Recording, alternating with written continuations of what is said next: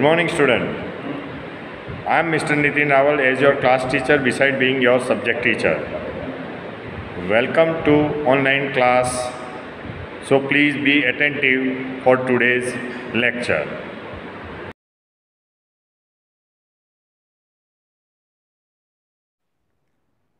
Yes, student. Today we will learn grammar chapter number 9.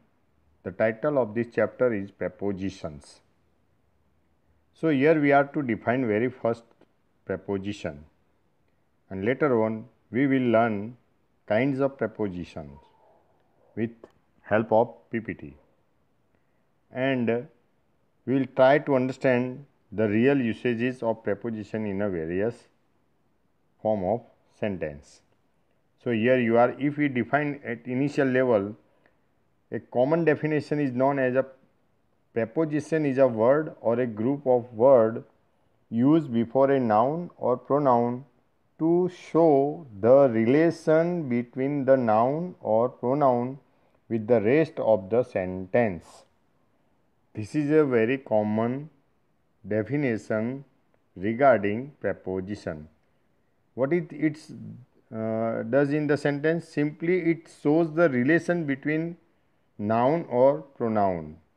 It means in detail if we talk it is a word placed be before a noun or pronoun to show in what relation the person or thing denoted by it stand in regard to something else. It means in the sentence the person or thing denoted in the in the sentence how it stands in what relation with the something else. The word that used in sentence showing this relation is known is is known as a preposition. Clear? Above all if we define in a proper manner then we can say a preposition is a word that links a noun or pronoun or a phrase to other words in a sentence. The word preposition means placing before simply. The word preposition means placing before. It is it is placed before a noun or pronoun and so its relationship with some other words in a sentence. Suppose if I read the example, the coach was happy with Rohan because he played well. So, here in this example, we can understand the word use with as a preposition and it shows the relation between the coach and the Rohans playing well. That is why here word with is known as a preposition. One more example. My parents are proud of me. So, word of is used here as preposition. One more example. She was grateful to her friend. Here word to stands as preposition and it shows the relation between she third person pronoun with one more person that is her friend. One more example here you are. He stays near Chittaranjan Park. Here word near used as a preposition.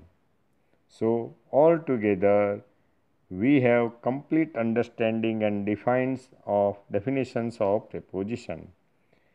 Now if we talk about the kinds of prepositions. So, here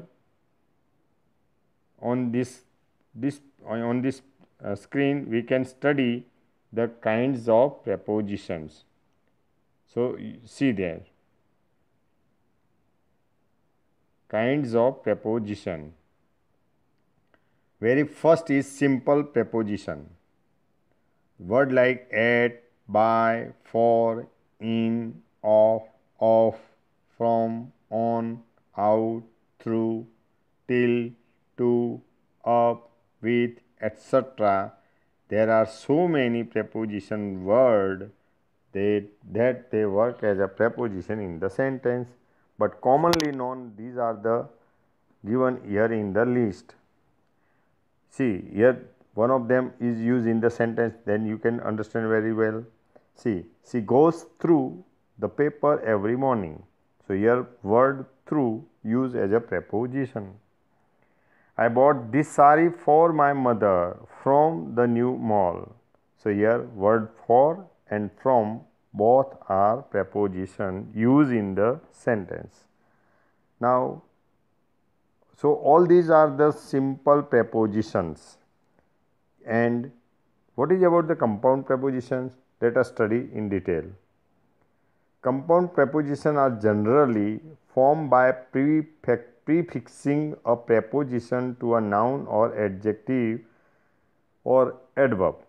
Word like about, across, above, belong, along, amidst, among, around, before, behind, be, below, beneath, beside, between, beyond, inside, outside, underneath, within and without, etc. So, all these words mostly here why are there compound preposition you know you you can see here word a and b the letter word the letter a and b mostly prefix the other words and thus it become the compound preposition so in every word you can see either a or b or sometimes ab both are at uh, placed before that noun and that is why they are compound prepositions here in example let us try to understand the way of example the preposition how do they work here? We rowed across the river to reach the village beyond the forest. So, here word both see across and beyond both used as preposition in this sentence. One more example is here come let's go for a stroll along the river bank. Here word along is used as preposition in this sentence. Altogether, all these preposition shows the relation between noun, pronoun and with other some other things. Now, one more types of uh, preposition is on next page. Let's study. See, here you are the third kind of preposition almost known as a phrase prepositions. Uh, what are these phrase prepositions? See here. These are groups of words with the force of single preposition.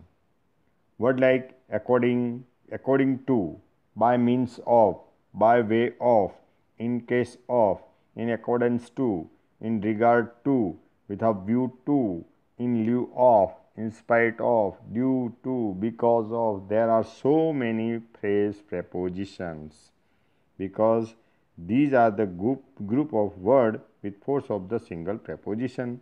So, every you can see in every example here word uh, to that is preposition, but there is a group of word according also by means of that is also prepositions, but these are known as a phrase prepositions.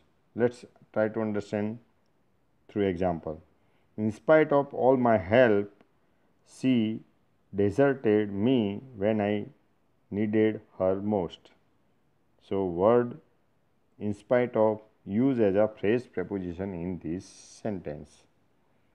Let us understand one more kinds of preposition and that is participle prepositions. These kind of prepositions are used very typical way. See here all those ing form of the present participle used as a preposition in sentence. See, bearing, concerning, consider, considering, notwithstanding, pending, regarding, respecting, touching. Uh, you know, these above present participle are frequently used absolutely without any noun or pronoun attached to them and do the work of preposition. See here example through example we have a clear understanding. See here. Notwithstanding her claim, the property was handed over to the rightful heir. Here word notwithstanding is used as a preposition without any noun or pronoun. So such a participle preposition can be used in sentence without noun or pronoun to initiate the sentence. So here word like not notwithstanding one more example is here regarding yesterday's police firing an inquiry has been initiated. So regarding here this is phrase prepo, uh, participle preposition. So these in this video we have discussed definitions of prepositions and their kinds. So now we will understand through picture example so that we have a clear understanding regarding prepositions. So let us go to next lecture, next video lecture.